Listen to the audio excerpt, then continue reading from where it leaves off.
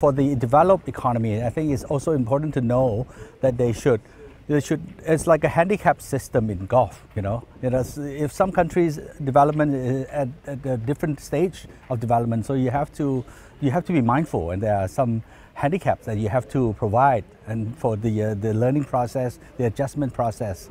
You know you're going to slap a big tax on uh, environmentally uh, sensitive products it doesn't help these developing countries we are embracing a lot of uh, changes and new technology, innovation, digitization with China. And China has brought a big and rapid changes, especially on electric vehicles.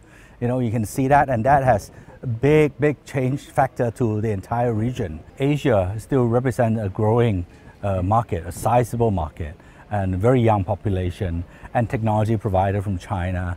You know, on, on so many ways, and China is actually helping to bring costs down in, in, in in a lot of uh, what we are trying to move forward and move uh, going forward.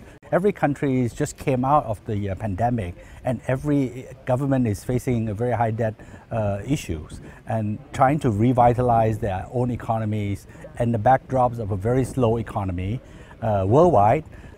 Maybe we have to relook at this and try to understand each other and see how we can help the whole world grow.